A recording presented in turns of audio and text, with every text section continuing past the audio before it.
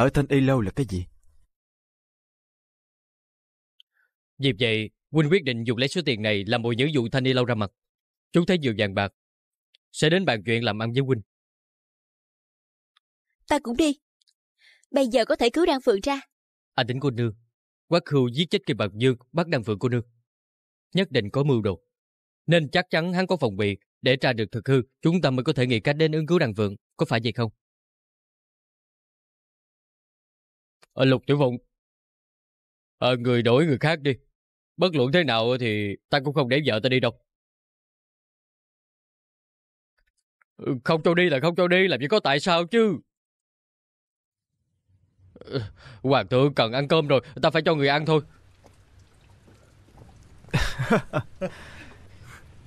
Chú Đình thương cô như vậy, đúng là hiếm thấy.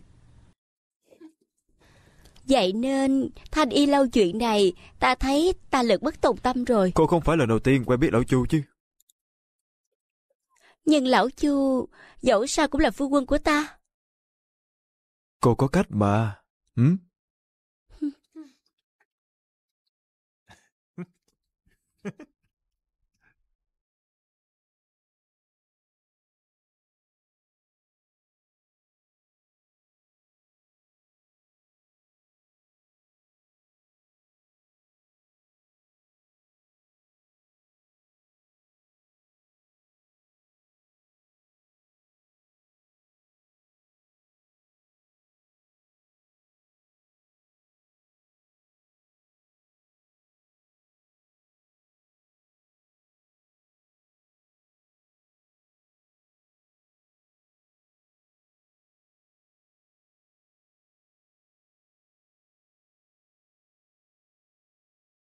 Qua mãn lâu đã nói, Tiểu Bạch bây giờ vẫn không thể cử động nhiều, nên không thể đưa chúng ta đi tìm tỷ ấy. Qua bản lâu có từ đối, phải cần bao lâu không? Huynh rất lo cho Đan Phượng phải không? Nói không thì gạt người rồi. Mùi thật lòng hỏi Huynh. Huynh với tỷ ấy thực sự là chân tình hả? Sao muội lại hỏi vậy? Mùi nhìn thấy vài chuyện. Mong chúng không phải sự thật. Đan Phượng trước mắt chúng ta là một cô nương tốt. Nhưng trước giờ Huynh chưa từng hoài nghi tỷ ấy. Thân thế của Đan Phượng và tỷ ấy đều giống như một câu đố vậy. Mùi sợ tỷ ấy đang lừa dối Huynh. Huynh chắc chắn tỷ ấy không giấu Huynh chuyện gì. Đáng ra Mùi không nên nói tỷ ấy như vậy, nhưng Mùi thực sự rất lo. Muội lo nhiều quá rồi. Ta từng gặp vô số nữ nhân. Ai có thể lừa được ta chứ? Nhưng Huynh rơi vào lưới tình, hai mắt bị che đậy rồi. Chính là một tháng trước. Muội còn đây theo đuổi ta, bất kể gọi tướng công. Ta thật không ngờ, bây giờ muội biến thành chuyên gia ái tình rồi. Chuyện mất đi thiên tùng là cái giá đắt nhất mà muội phải trả trong đời. Muội thà không làm chuyên gia tình ái. Lục Tiếu Phụng, muội nhất định giúp Huynh tìm được Đan Phượng, mong rằng sau này Huynh sẽ không bị tổn thương. Những chuyện tận mắt trông thấy cũng chưa chắc là thật. Ta chỉ mong Đan Phượng bình an. Bất luận thế nào, ta sẽ cứu nàng ấy ra. Bất kể phải trả giá thế nào. Có nghi ngờ gì, thì trực tiếp nói rõ ràng. Cho ta chút thời gian. Ta đã bảo rất nhanh. Đan Phượng sẽ trở về thôi.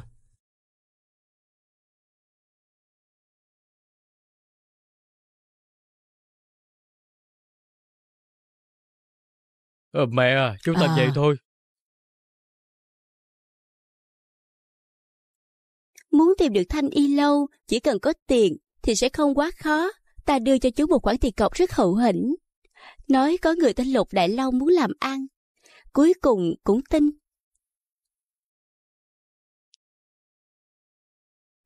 Thanh Y Lâu có 108 lầu, rải rác khắp Trung Nguyên, Kinh Thành thì có hơn 50 chỗ, nhưng đều rất bí mật. Bọn chúng chủ động hoàn toàn, còn chúng ta lại bị động hoàn toàn. Lục Tiểu Phụng, người rất may mắn. Người của Thanh Y Lâu đã liên lạc với ta rồi, đã hẹn gặp ngươi. Ở Minh Nguyệt Lâu thành Bắc. Ngươi tự cẩn thận nha. Thật sao? Thật Gần đây sao làm gần đây làm ăn thật à. tệ. Đại gia vào trong Đại gia ngồi vào đi. trong ngồi đi.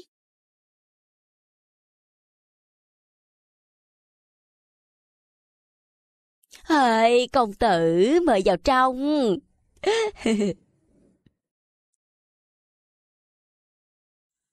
công tử à, mời dùng rượu. Đây chính là thanh y lâu trong truyền thuyết sao? Công tử, chỗ này của ta không phải là thanh y lâu, mà là thanh lâu. Không biết hai rương vàng này có thể bùa cô nương như thế nào? Công tử, cô nương mà ngài muốn, ta đã chuẩn bị xong rồi. à, ngài đợi đó một chút nha, chỉ một chút thôi, đến ngay mà.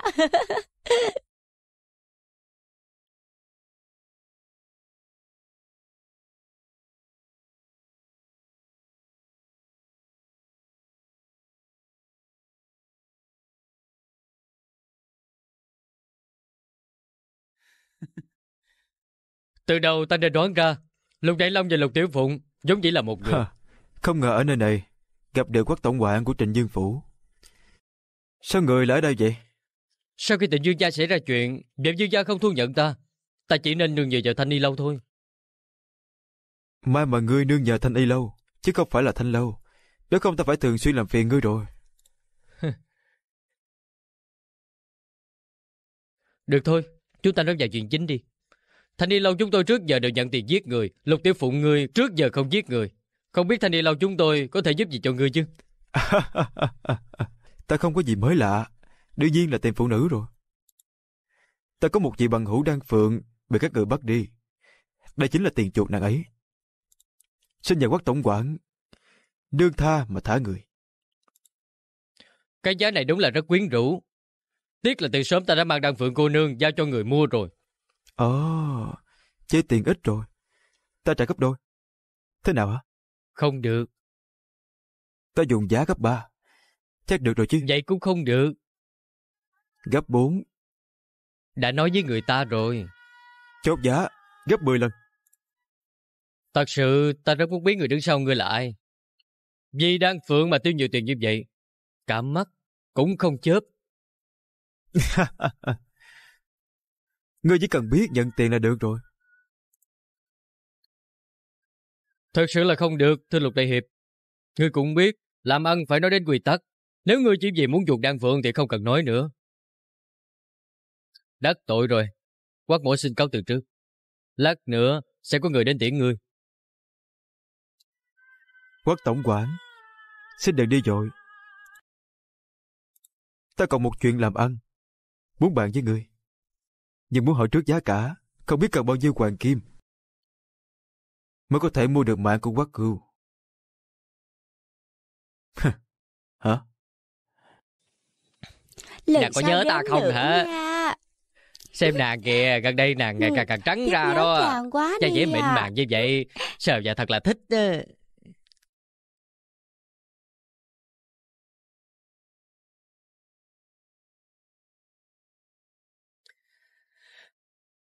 Nhiều người như vậy sao mà tìm, sao mà tìm?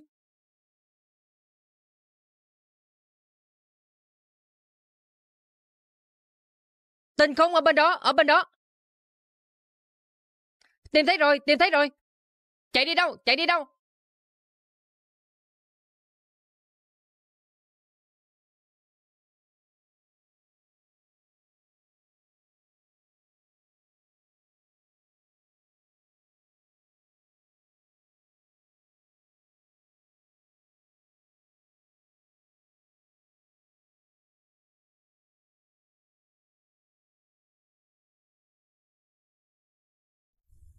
Chưa từng giết người như lục tiểu phụng lại nghĩ dùng tiền thuê sát thủ của thanh y lâu giết ta sao? Hả?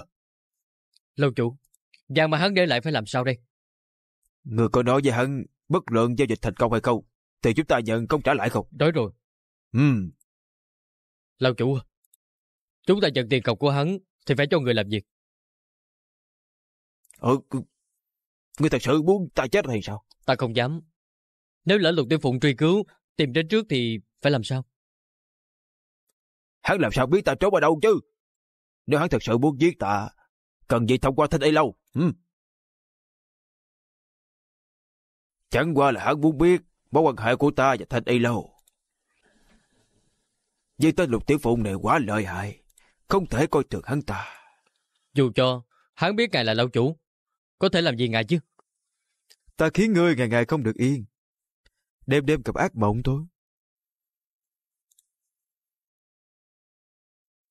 Vì này chính là quốc thần y sao? Nghe danh đã lâu rồi. Lục Tiểu Phụng, sao ngươi tìm được trên này? Ngươi cút ra ngoài đi. Chưa đủ bất bạc hay sao? Cút ra ngoài. Dạ,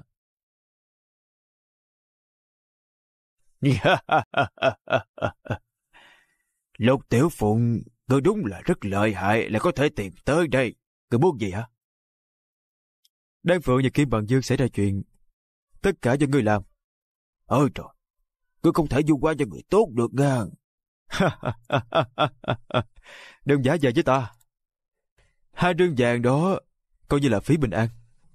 Nếu Đan Phượng có chuyện gì, ta sẽ diệt sạch thanh y lâu các ngươi.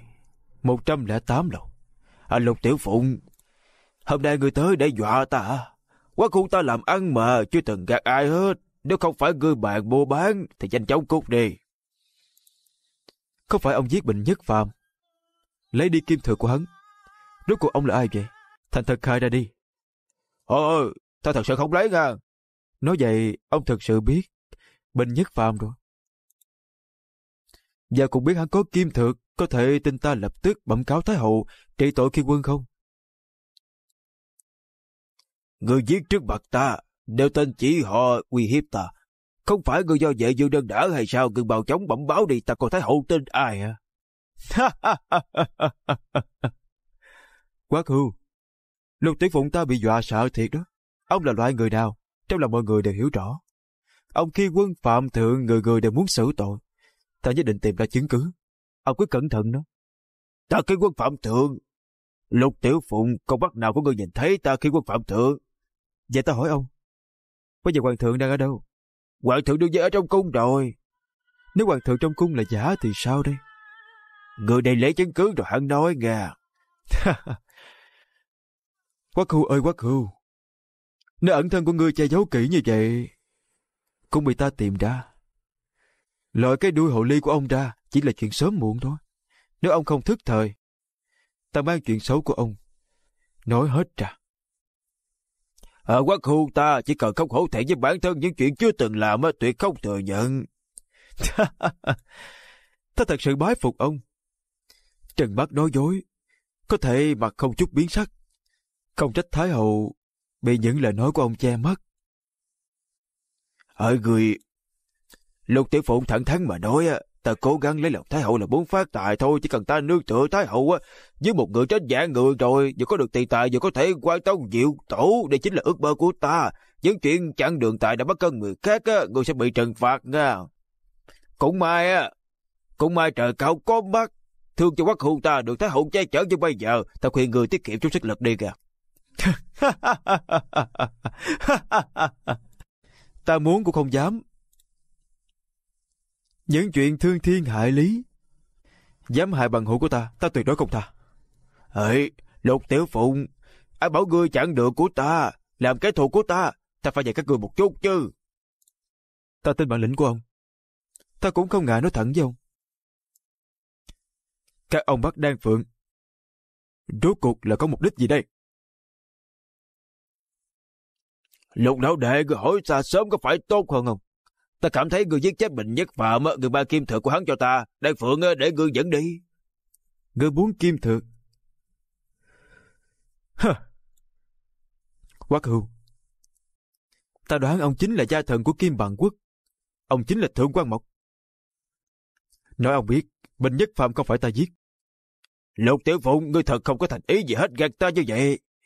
Nè, ta không quan tâm mình Nhất Phạm làm sao mà chết, nó cũng đừng quan tâm ta là ai, tóm lại lấy kim thượng đối đan phượng. Nhưng mà phải nhanh ra, nếu không á đợi đến lúc ta tự nghĩ cách tất cả đều quá trễ đó. Quá buồn rồi.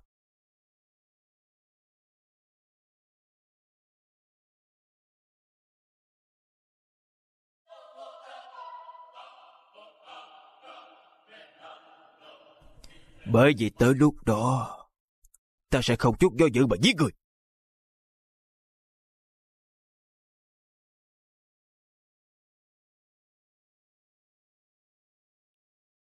Cái tên ngốc, À, lâu chủ, ta thật không ngờ.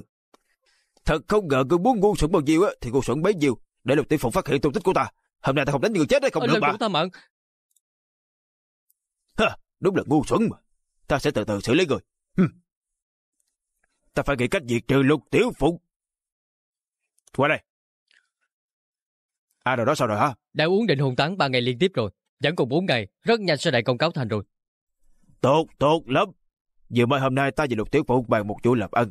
Coi ai ra tay nhanh hơn. Này đúng là cái thích quá mà.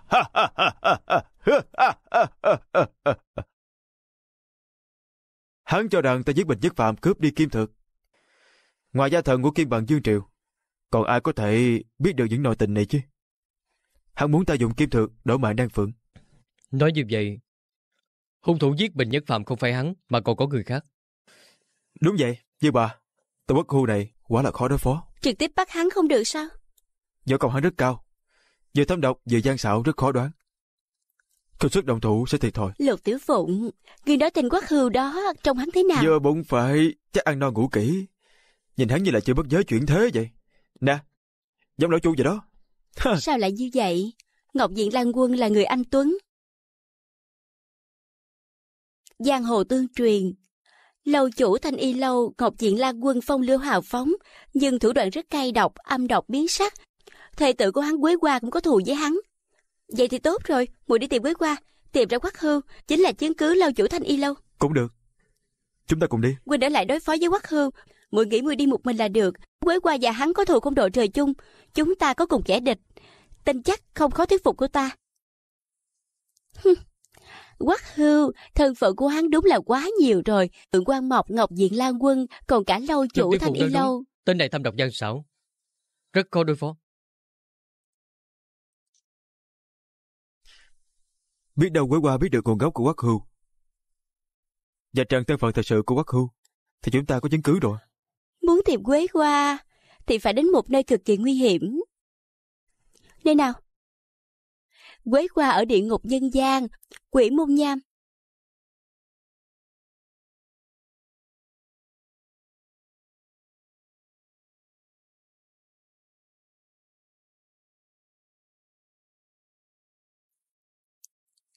Đệ tử của địa ngục nhân gian vốn là đối tượng của Thanh Y Lâu muốn giết. Họ muốn bảo toàn tính mạng, chỉ còn cách trốn vào địa ngục nhân gian. Vì giáo chủ Quế Hoa là cố ý chống đối Ngọc Diện Lan Quân, Phàm là người Ngọc Diện Lan Quân truy sát, giáo chủ Quế Hoa sẽ ra tay thương cứu. Nghe nói bà ấy từng bị Ngọc Diện Lan Quân sát hại rất thảm. A tính, muội vì Lục Tiểu Phụng và Đan Phượng thật sự không sợ nguy hiểm sao? Muội không chỉ là gì họ, mà cũng là gì muốn tìm ra chân tướng. thật rộng lượng, dù sao muội phải nhớ, ấy qua không tin tưởng nam nhân được kích động bà ấy. Dạ,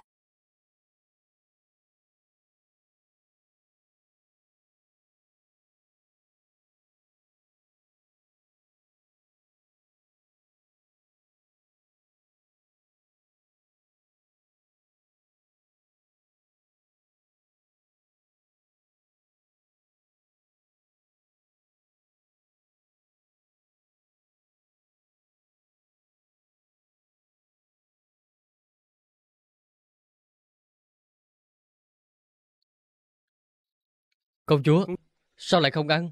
Những món này không hợp khẩu vị nàng sao? Đây là những món trên núi Kim Bằng. Ta chỉ mong các món ăn này có thể hợp với khẩu vị của nàng.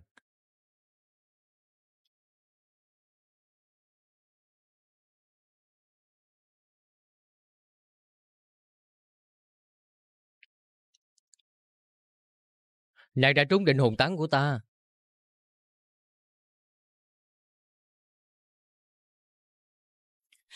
Tại sao vậy? Là ta hạ độc. Nàng muốn chết hay sao?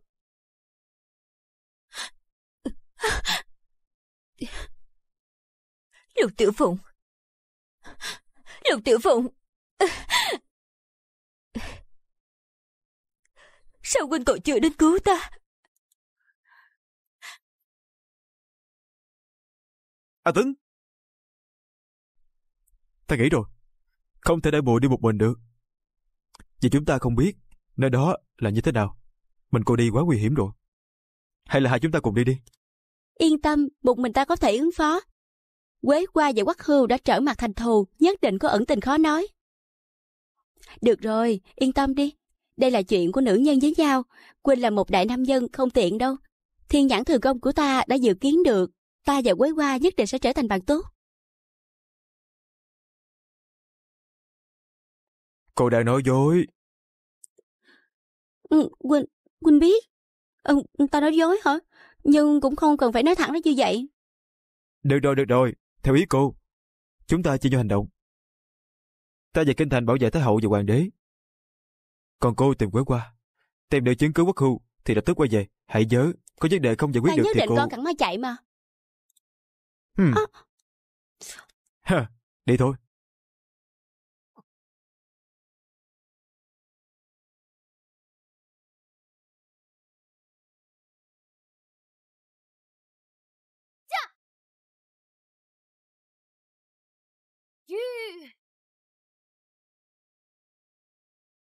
Chính là ở đây.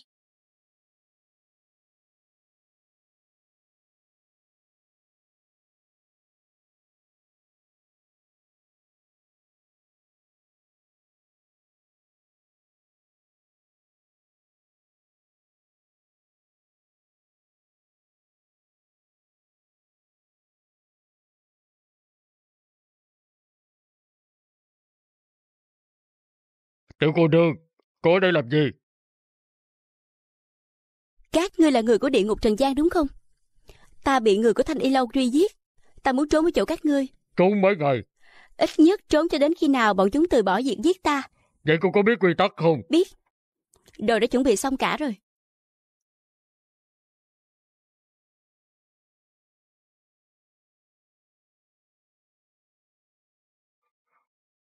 Tiểu cô nương, vậy cô phải chịu hoàn ứng trước rồi.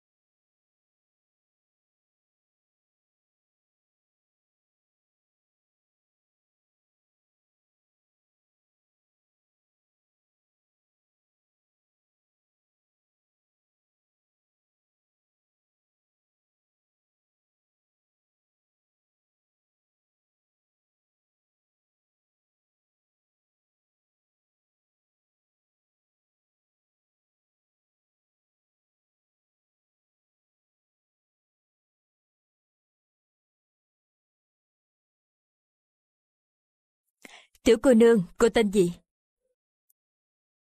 Tôi tên A Tính. Trong cô tuổi còn rất trẻ. Tại sao lại bị người của Thanh Y Lâu truy giết?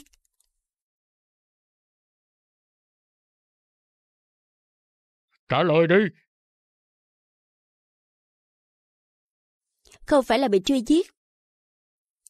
Ta chỉ là muốn tìm người của Thanh Y Lâu mà thôi.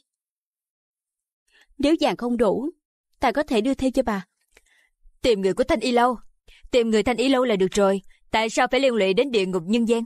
Vì người này chỉ có quý qua chủ mới có thể tìm được. Rốt cuộc cô muốn tìm ai? Ngọc Diện Lan Quân.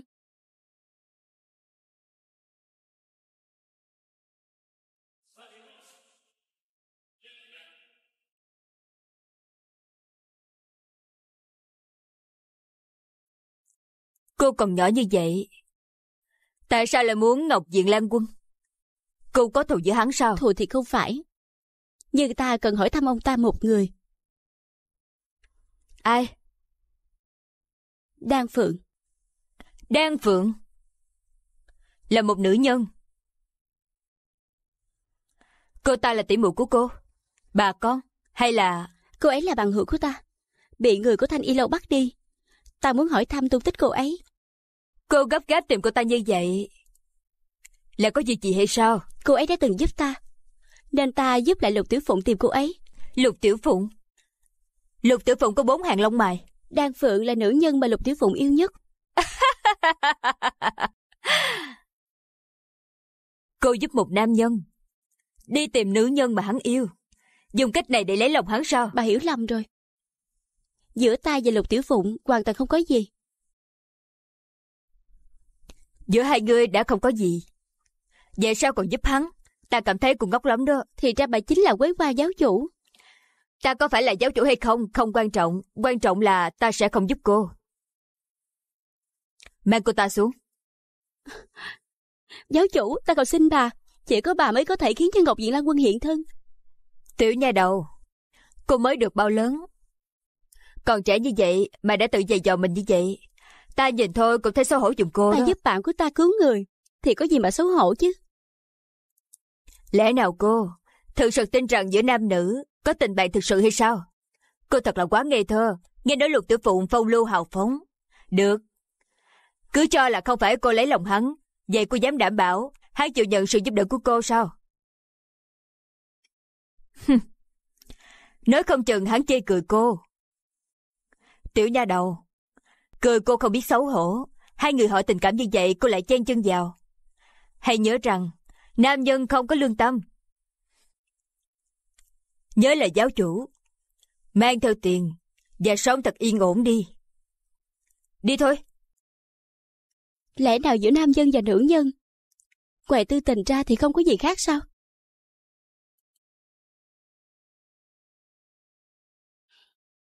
Ta không cảm thấy nhầm nhân. Tất cả đều là kẻ xấu. Ít nhất Lục Tiểu Phụng và quan Mãn Lâu đều là người tốt. Ta cũng không cảm thấy họ gạt ta, ngược lại trước đây. Lúc ta cần giúp đỡ, họ đã thực lòng thực ý giúp đỡ ta. Nữ nhân nếu thật sự bị nam nhân lừa dối, lẽ nào bản thân không có một chút trách nhiệm nào sao? Lẽ nào không phải vì cô ấy mê luyến nam nhân? Thầy ước những lời ngọt ngào mới bị lừa, tuy ta không có người thân. Nhưng có thể phân biệt rất rõ, chân tình hay là giả dối.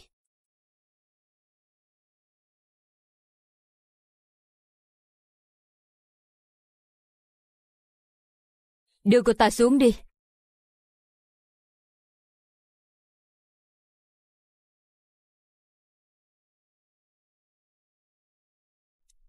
Dì ba đầu, Có thuộc hạ. ngươi hãy đi điều tra. Xem xem Thanh Y Lâu có phải đã bắt được cô nương tên là Đan Phượng hay không. Ngoài ra, nhất định phải điều tra. Đan Phượng và Lục Tiểu Phụng có quan hệ như thế Dạ. nào?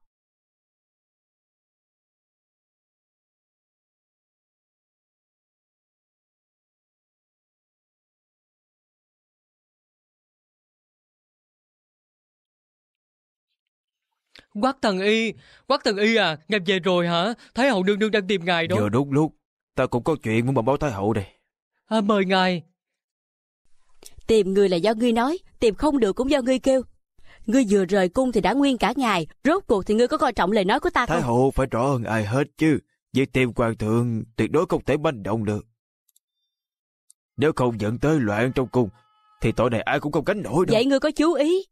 Tìm được tung tích của hoàng thượng hay không? Thực sự không được thì ta sẽ mời cao minh khác. Chú ý thì có một, nhưng lại là một chú ý chạm trổ có điều nếu dựa theo kế hoạch có thể tìm được tung tích hoàng thượng. Cách gì? Cách này à, phải là Thái hậu đích thân ban chỉ mới được. Mẫu hậu lại ban ý chỉ, muốn giết cái nhà hoa gia ở Giang Nam.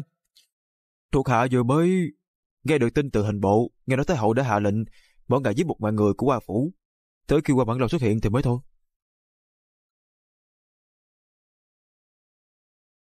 Đây nhất định là quỷ kế của quắc hưu. Hắn làm như vậy, chắc chắn là muốn ép quan mãn lâu, đốt hoàng thượng hồi cung. Vừa hồi cung, hoàng thượng đã băng hà. Vậy còn cách gì có thể bảo vệ được Hoa Bản Lâu và hoàng thượng hay không? Như vậy đi, người tranh thủ đi tìm qua mãn lâu, nói cho hắn biết việc này. Sau đó lập tức đến Giang Nam, báo cho người nhà của hắn tạm thời trốn đi. Bất luận thế nào, không để quắc hưu mượn đạo giết người, trừ khử qua mãn lâu. Dạ,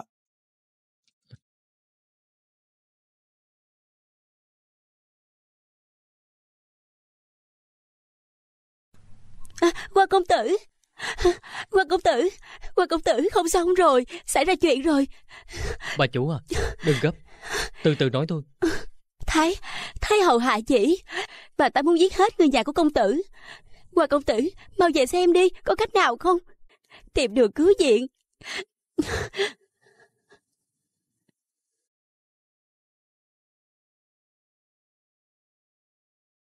Qua công tử! Công tử không sao chứ? Tôi không sao. Không sao đâu. Nhưng người nhà ta vô tội. Họ không thể chịu tội vì ta được. Bà chủ à. Hoàng thượng xin nhờ các người. À, Hoàng công tử, Quỳnh cứ yên tâm đi. Chúng ta sẽ giúp công tử chăm sóc hoàng thượng thật tốt. Bây giờ ta là khâm phạm triều đình. Nếu trên đường có chuyện gì, sợ sẽ liên lụy đến các người. Phải rồi. Hay là các người ở lại đây, chăm sóc cho hoàng thượng cho tốt. Tuyệt đối đừng hiện thân. Được rồi lão qua, à, không cần phải nói nhiều. Những việc này bọn ta gặp qua rồi, quên đi đi. Nhờ hai gì? Qua công tử, đi đường cẩn thận.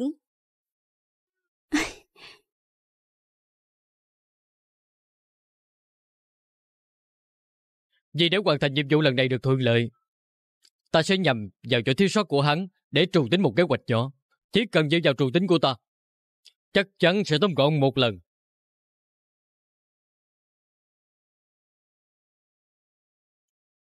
Đại khổ, có. Chỉ được thành công không được thất bại. Dạ. Tất cả quay gì chuẩn bị cho ta. Dạ. Thiếu chủ. Vậy ta thì sao? Nhiệm vụ lần này không cần cô. Tại sao? Bởi vì nhiệm vụ lần này không hợp với cô. Ta còn có nhiệm vụ quan trọng hơn giao cho cô đây. Nhiệm vụ gì? Đánh với ta một ván cờ.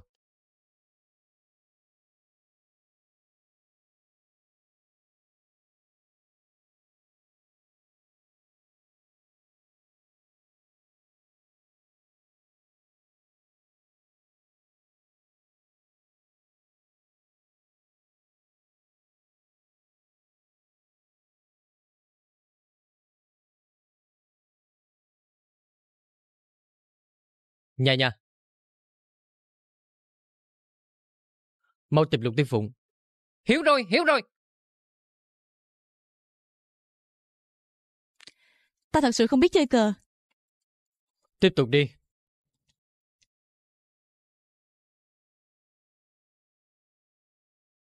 Tim. Đúng là trực tiếp một cái đơn giản. Ngài không cho ta cùng làm nhiệm vụ với các huynh đệ. Thật không tốt cho lắm. Nhiệm vụ vốn dĩ chính là mọi người thay phiên nhau làm. Cô vừa mới trở về từ núi Ami, hãy nghỉ ngơi đi. Trường, Đoạn.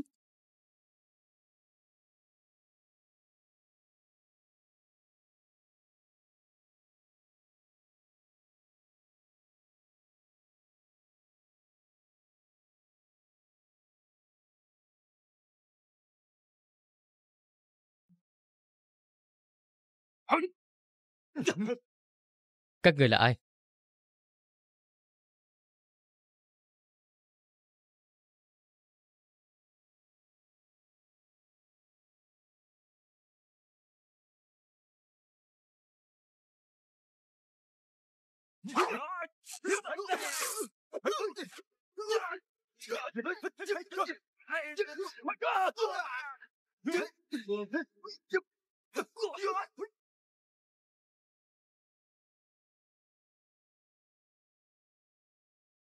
Rốt cuộc ngài muốn đối phó với ai?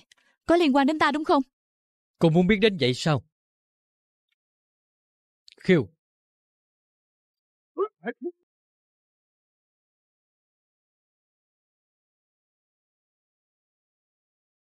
Tiểu Phi.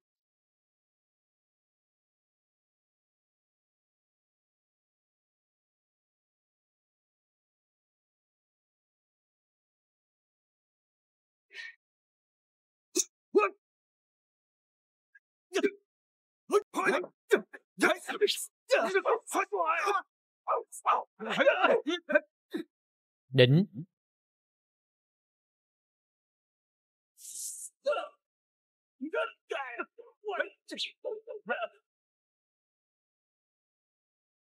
Phi Yến. Cô thua rồi.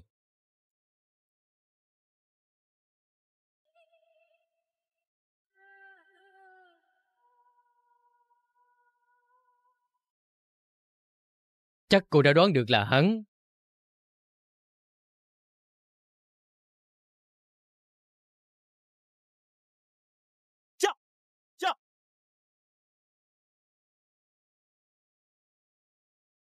Nha nha, cách nơi người nói còn bao xa nữa?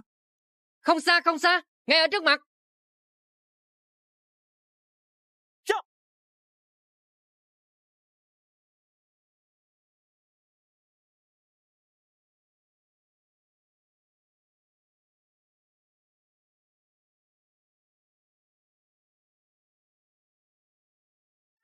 Dùng thủ đoạn nham hiểm như vậy đối phó qua bản lâu. Chắc chắn là chuỗi của quắc hưu. Là quắc hưu. Qua bản lâu nguy hiểm rồi.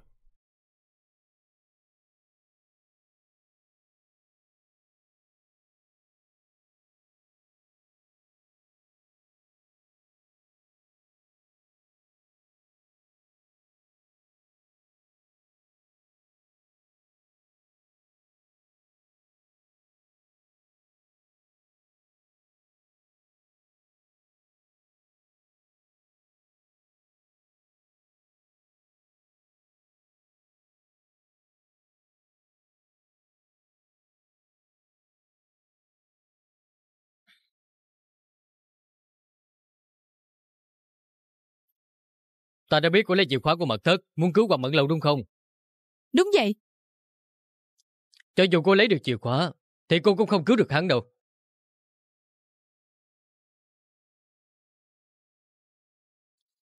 Ta vẫn luôn nghĩ cách cứu vãn cục diện, nhưng không ngờ lại trúng kế vàng của kẻ tiện nhân. Dương gia. Người đã tận lực rồi. Lục Tiểu Phụng, ngươi cho rằng kẻ nào muốn bắt Hoàng Mẫn Lâu chứ? Không phải hỏi sao? Vì này Dương gia có đáp án rồi mà. Quắc hưu. Chỉ cần qua bản lâu còn sống, thì có thể bảo vệ được tính mạng của hoàng thượng. Nên hắn bảo Thái hậu, nhân cơ hội này bắt qua bản lâu. Hắn bắt Hoàng Mẫn Lâu đi. Thì Hoàng thượng lập tức băng hà. Tình quắc hưu này rõ ràng là muốn lấy mạng của Hoàng thượng và để ép buộc Thái hậu. Nhưng mà chúng ta lại không có chứng cứ chứng minh thân phận thật sự của hắn với mẫu hậu. Ta đã nghe thấy Quắc Thiên Thanh và Quắc Hưu là lâu chủ. Điều tồi tệ hơn, có thể hắn còn có thân phận khác. Ngài nói sao? Quắc Hưu đòi ta chìa khóa vàng. Và còn biết bình nhất phạm. Ta nghi ngờ hắn ta chính là tội thần thứ ba. Lục Tiểu Phụng, ta thấy người dứt khoát đừng đợi nữa. Bây giờ ta phái binh tịch thu thanh y lâu để phòng hậu quả. Dương gia. Đối phó với Quắc Hưu, đan phượng vẫn còn tác dụng, tạm thời không bị nguy hiểm. A tính tìm chứng cứ rồi. Chúng ta phải nghĩ cách kéo dài thêm vài ngày Người nữa. muốn dùng cách nào để kéo dài chứ? Ta xin phép Dương gia. Cho ta đưa hoàng thượng hồi cung. Tuyệt đối không được. Nếu hoàng thượng trở về cung, chẳng không phải là đồng nghĩa với việc tìm đường chết sao? Hoàng thượng ở bên ngoài, không thể kéo dài mạng sống được. Ta cũng không biết phải làm sao mới tốt.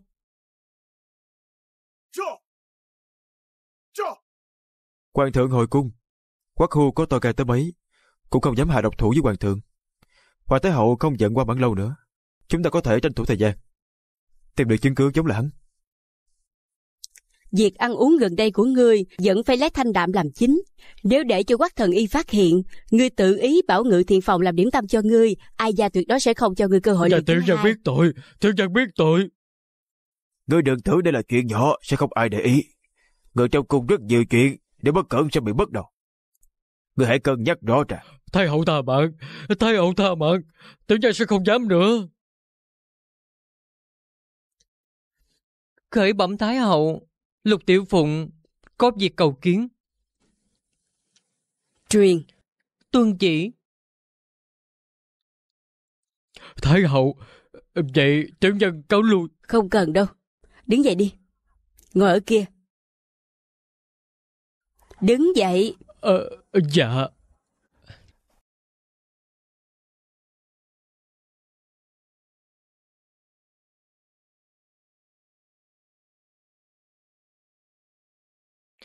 Khởi bẩm Thái hậu, Lục Tiểu Phụng đã đến. Lục Tiểu Phụng khấu ký Thái Hậu.